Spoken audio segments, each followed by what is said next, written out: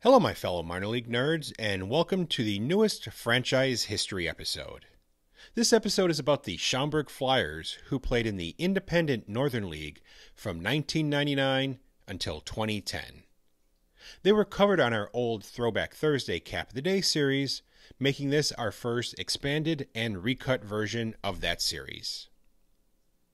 The village of Schaumburg, Illinois, which is located about 28 miles northwest of downtown Chicago, was awarded a Northern League franchise in May 1998. Baseball lifer John Dittrich, who sadly passed away last summer, and Rich Ehrenreich headed up a group of 20 owners and were looking to build an expansion team.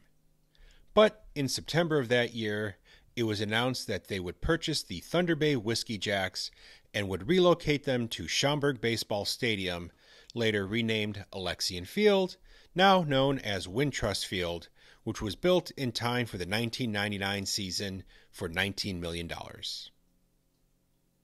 Dittrich served as the team's general manager, a role he held for three years with the Fargo Moorhead Redhawks before joining the Flyers.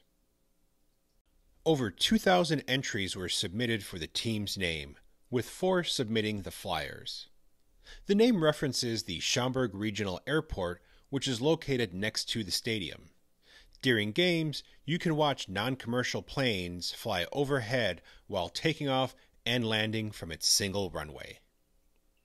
White Sox legend Ron Kittle was named the team's first manager, staying in the role until resigning following the 2001 season. Greg Hibbard, who played for both the White Sox and the Cubs, was the team's first pitching coach, and former major leaguer Mike Marshall served as a player coach. Their first game was played at home on Friday, May 28th, a 6 0 victory over the St. Paul Saints before a standing room only crowd. In their first season, they finished in first place with an overall record of 44 and 42, winning both the first and second half East Division titles. They unfortunately, though, were swept by the Fargo Moorhead Redhawks in three games in the first round of the postseason. In their first season, they drew 236,476 fans for an average of 5,499 per game, the third most in the league. Outfielder Jim Rushford was the first Flyer to reach the major leagues, playing 23 games for the Milwaukee Brewers in 2002. Alberto Castillo, who would spend four seasons in the major leagues between 2008 and 2011, led the pitching staff with 97 innings pitched, going 7 and 5 with a 4.27 ERA. Jamie Lopiccolo led the team with a 332 batting average, 119 hits, 15 home runs, and 78 RBIs. During that 1999 season, 96 year old former Negro League star Ted Double Duty Radcliffe threw one pitch for the Flyers against Matt Falkin of the Fargo Moorhead Redhawks, becoming the oldest person to ever appear in a professional baseball game. The Flyers would make the playoffs three more times in 2003, 2004, and 2006, with 2004 being their most successful season. They would win the first half division title with a 31 and 17 record. They defeated the Kansas City T-Bones 3 games to 2 in the first round, but fell to the St. Paul Saints in 5 despite being up 2 games to 1 at one point. The team's attendance did slip over the years, but they consistently drew over 200,000 a season until 2010 when they only drew 172,732. After the 2005 season, the Northern League lost four teams as the Lincoln Salt Dogs, the St. Paul Saints, Sioux City Explorers, and Sioux Falls Canaries all left to form the American Association with five teams from the Central Baseball League. In the second half of the 2006 season, the Flyers and MSN partnered to create Fan Club Reality Baseball, which gave fans behind the scenes access to the Flyers in the form of an online reality show. Fans were also able to select the team's starting lineups for each game. It was an abysmal half for the Flyers as they went 15 and 33 after winning the first half division title with a 31 and 17 record. They were knocked out in the first round of the playoffs by the Gary South Shore Railcats in 5 games. The 2009 season saw former major leaguer Felix Jose join the team at 44 years of age. He had a pretty decent season, hitting 306 with 12 doubles, 7 home runs, and 39 RBIs. That season also saw the Flyers play the Chicago Bandits, a National Pro fast pitch softball team, in what was dubbed as the Battle of the Sexes, in front of 8,918 fans. The game was played under softball rules, with the Bandits winning 4 2. The Flyers opened the 2010 season playing under the temporary name the Schaumburg Pilots. They played under the name as a way to support the Chicago Blackhawks during their 2010 Stanley Cup run, using it until the Hawks defeated the Philadelphia Flyers in six games. The team played what turned out to be its last game on September 5th, 2010, against Winnipeg. They were looking to sweep the Goldeyes to end the season on a high note, and were on the verge of doing so before Winnipeg was able to come from behind late in the game and win 4 3.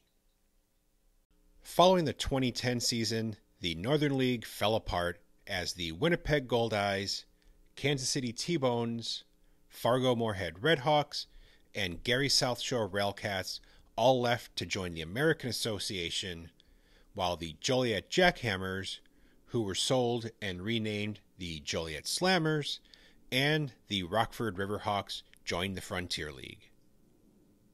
On November 18th, the Flyers and the Lake County Fielders, the last two remaining teams in the Northern League, who were also both owned by Rich Ehrenreich, announced that they would join the new North American Baseball League which was formed by merging with the Golden Baseball League and the United Baseball League.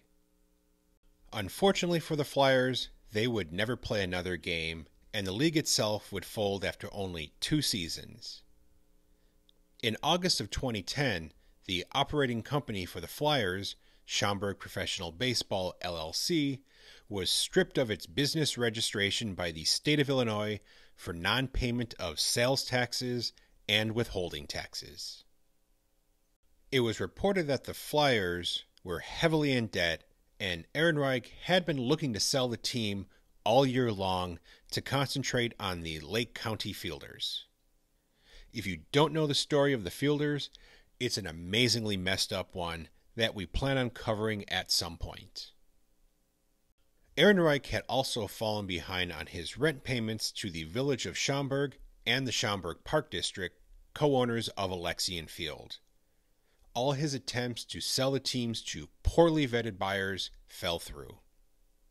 Still intending to join the Northern League for its inaugural season in 2011, the Flyers were served with an eviction notice from Alexian Field on February 24th, with the team owing $900,000 in back rent going back to the 2007 season a Cook County judge terminated the lease and ordered the Flyers to pay the village and the Park District $551,828.92 in back rent.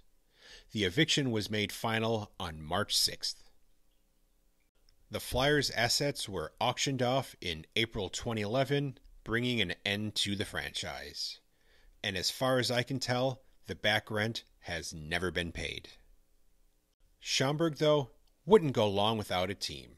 In 2011, Eleanor Remus, owner of the Joliet Slammers, was awarded a lease to Alexian Field. He intended for the team to play in the American Association. In August of that year, though, shortly after signing the deal, he sold the team to Pat Salvi, owner of the Gary South Shore Railcats in the American Association. Salvi did not want to have a conflict of interest by having two teams in the same league, so he moved Schaumburg over to the Frontier League. Under Oremus's ownership, a name the team contest was held, with the winners being the Maulers. That's M A L L E R S, referencing Woodfield Mall, one of the largest malls in the country, which is located in Schaumburg. The name was never made official. Salvi, after purchasing the team, held another Name the Team contest, with the Boomers coming out as the winner. They've been a rather successful team under his ownership, winning four Frontier League titles. Well, my fellow minor league nerds, that's going to do it for this episode. I want to thank everyone for all your support in watching the videos on YouTube and downloading the podcast version. Stay safe, and as always, be sure to never stop supporting minor league baseball and never stop learning about minor league baseball history.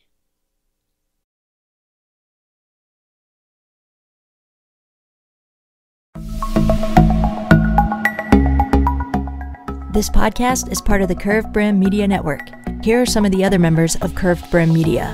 Hi, this is Ed Rivera of the Data Chronicles. Join me as I interview people just like you and players, coaches, GMs on the path that led you to become a fan of the sport.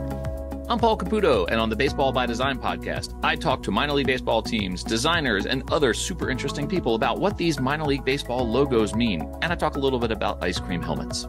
What's up, Bucketheads? I'm Anna Di DiTomaso, and each week on the Baseball Bucket List podcast, I speak with a different fan about their favorite baseball memories, what the game means to them, and what's left to check off on their baseball bucket list. Hey everyone, it's Eric from the great state of Kansas. This is Johnny from the New Orleans Baby Cakes Memorial Museum. And we are the Earn Fun Average Podcast, where we talk to a variety of guests about their love of baseball and have fun doing it. America, lower your standards. Average is what we do best. This is Patrick and Corey oh, of BaseballMapper.com. And we have made an interactive map to help highlight all baseball teams from the majors down to collegiate summer leagues. We want to bring you closer to baseball, so get on the site and find a team near you today. Hey guys, this is Patrick Larson from the Minor League Baseball Hat History Series. And in every episode, I go through the history of minor league teams through my personal collection of hats. You can find me on Twitter at, at PatLarson1. I hope you guys enjoy. Learn more about Curved Brim Media at curvebrimmedia.com.